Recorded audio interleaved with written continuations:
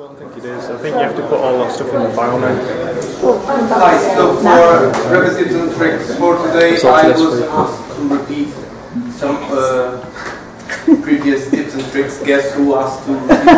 under the theme of aligning things to other things. So, uh,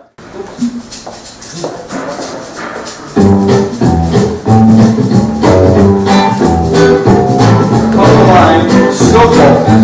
So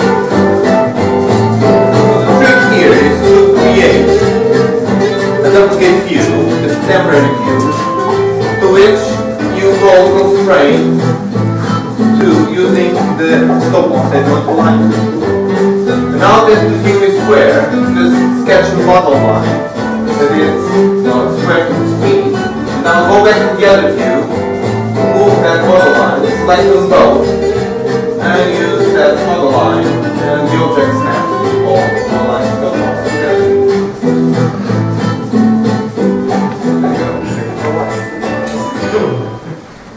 Now, the second episode of aligning things to other things is how to align an elevation to an existing wall, not a section, an elevation.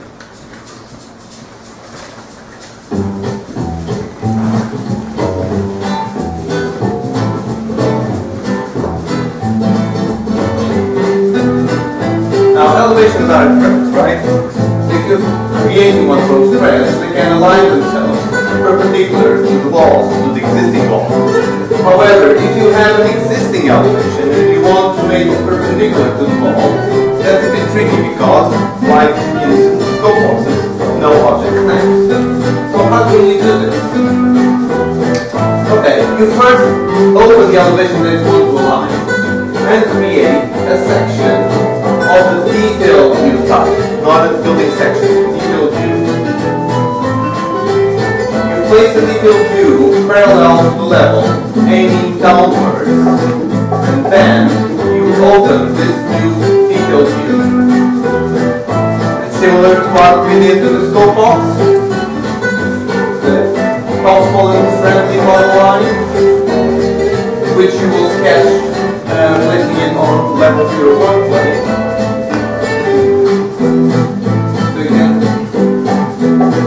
model line, go back to your initial view, select them both, and rotate them again using the model line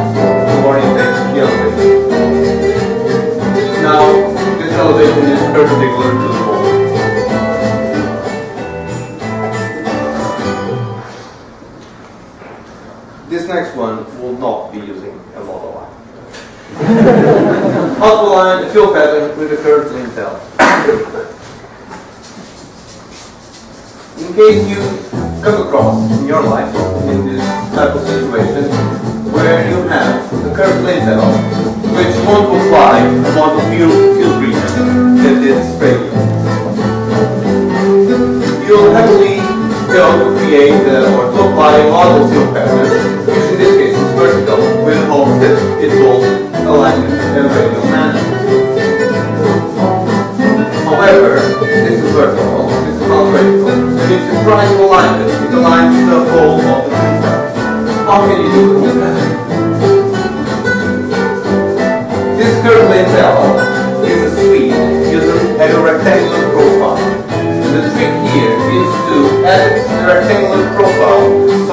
not a perfect rectangle.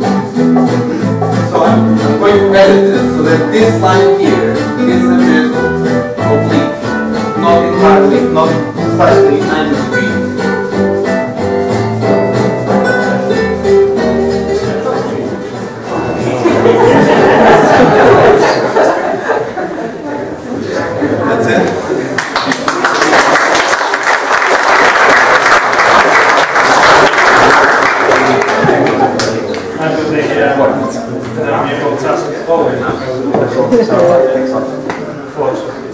No music. What?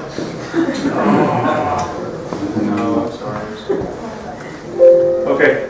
Um, so a couple of uh, couple of real quick ones. Um, okay, let's start with this one. It's really quick. Okay, so this is an example. You've got a family, uh, and you open it up, and you've got a parameter in there, um, and you can't change it um, to uh, instance because by default it's kind of hard coded. Uh, what can you do with it? Uh, very simply, don't forget this. You can just select the parameter and then you can click the instance checkbox up there, it'll work vice versa, and then it's now a instance parameter.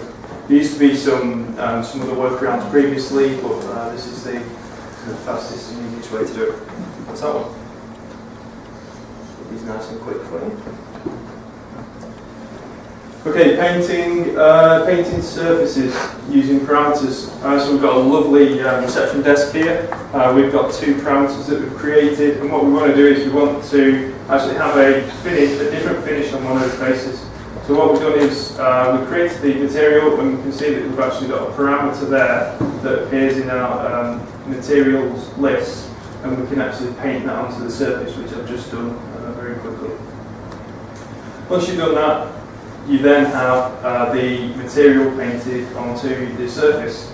Um, the benefit of that is you don't have to worry about um, creating additional geometry uh, and, um, and then applying finishes to that. So it's, it's a nice, neat way of creating um, furniture or uh, doors, for example, where you have uh, different uh, finishes on each on each side of the leaf. Let's go.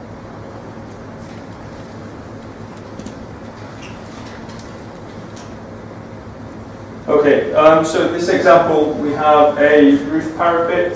Um, oh, we've got two roof parapets for this particular roof. Um, they follow the line of the, the roof pitch. Uh, how would you go about doing this? You could do this as an in-place component if you really wanted to, um, where you're sweeping it along. But we have another option where we can use roof by extrusion.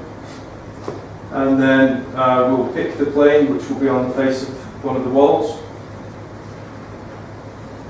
We will very quickly trace over the, the line work of the edges.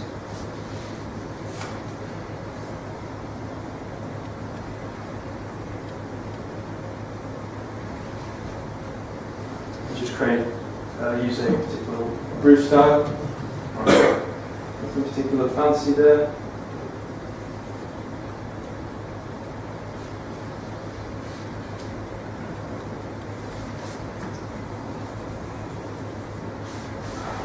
The line, the line at the end of the, uh, the end of the wall. So we're just using a regular roof by extrusion here, um, but then we're just going to use the um, vertical opening to actually cut out the middle section of this, which will then uh, create our uh, roof parapet, or seemingly to create our roof parapet. Um, it's quite handy this way because it, it make, ensures that the parapets align across uh, the front of your building. Um, and uh, it, it, works, it works quite well.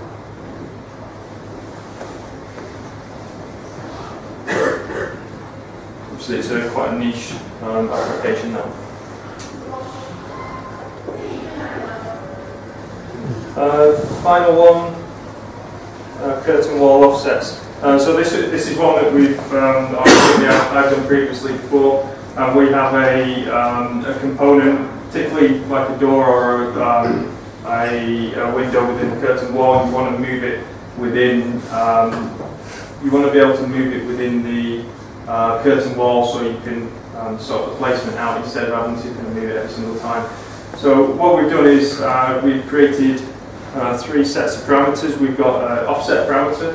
Um, now this normally can't be uh, plus or uh, this can't be a negative one if you're using dimensions, so instead of using formulas, um, creating these uh, two formulas that we're going to use. Uh, so it basically it's uh, using if statements.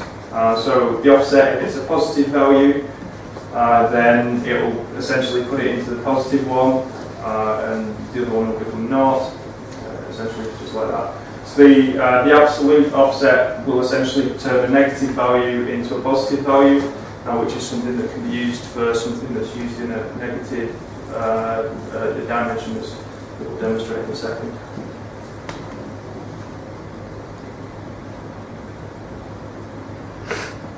Too many examples.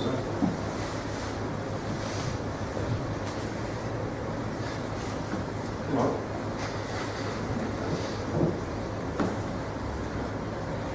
Okay, so the next thing is to just set up some dimensions. Obviously, you can't use negative dimensions, or you can't have negative values applied to dimensions. Um, so what we do is uh, we have one either side of the, the plane that you're going to use, uh, and you set them up similar to this. Um, you might have to kind of play around with it. One becomes your uh, negative offset value, which will either be a positive number or zero, and then the other one will be positive value, which again will be either a zero if it's a negative uh, offset, uh, and then uh, so it allows you to move it in either direction. That's quite handy. Um, use that quite a lot for things like curtain walling. Um, so you can push it that way, or you can you can now input uh, negative values as well, which will move it the other way as well. So especially useful for um, for doors and etc. for curtain walling.